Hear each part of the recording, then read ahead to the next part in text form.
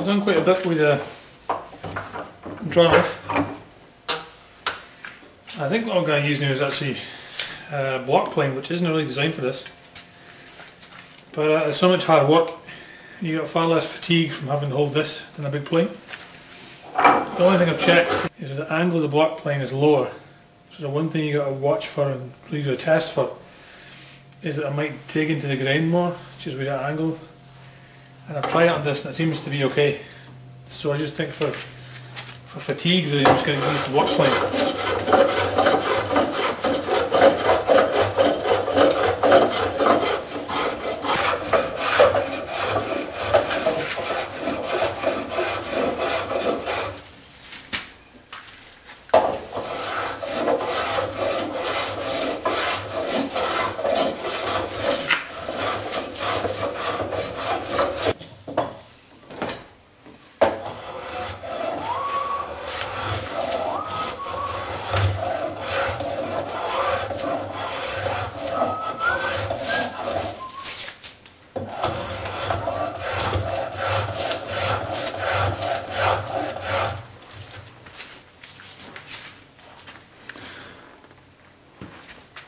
Okay, I'm using a spoke shave now as well. It's uh, really good for doing this.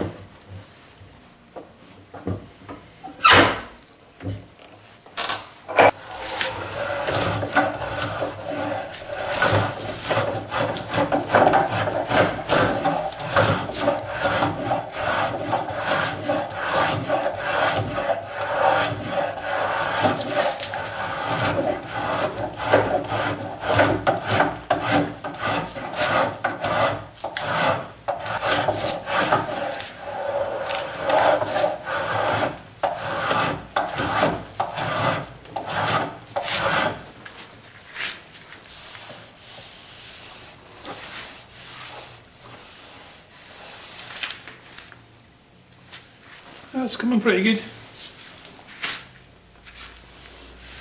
That's probably as far as you go, or just about as far as you go with a spoke shave. And the next stage would be to scrape it. There's a bit of tear out here. Um, but it's good. The beech is really kind of clean for working with. Didn't get too much marble grain and stuff. Nice.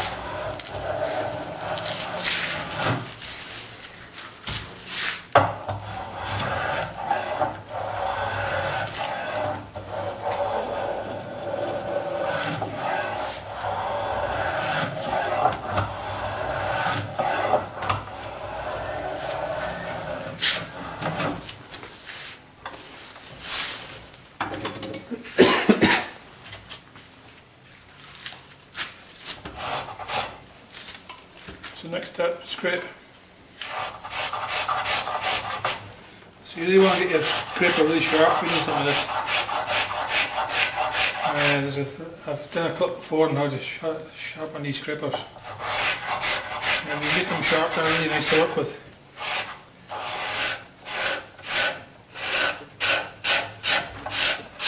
And so what I'm just trying to do is take out all the flaws all the spots where the spoke shave or the plane or whatever is dug in or like tore out a bit of timber and try and get a really good finish just so I can finish off sanding after that.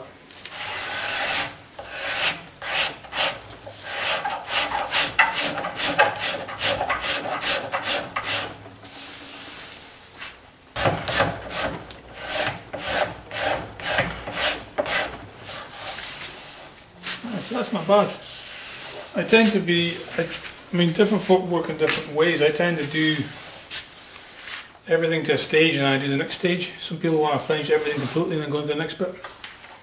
So it's up to you, however you want to work.